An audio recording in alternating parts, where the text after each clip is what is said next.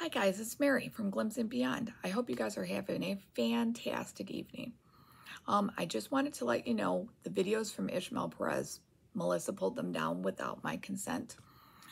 They are available on his Instagram page. So if you guys need them for any reason, go over there and check it out, okay? You guys have a great night and I will see you